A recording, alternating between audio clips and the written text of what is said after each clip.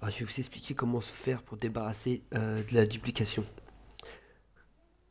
Ah, du coup, il faut trouver une, une arme dupliquée. Tu la prends dans ta main. Tu vas là, tu appuies sur ce truc là.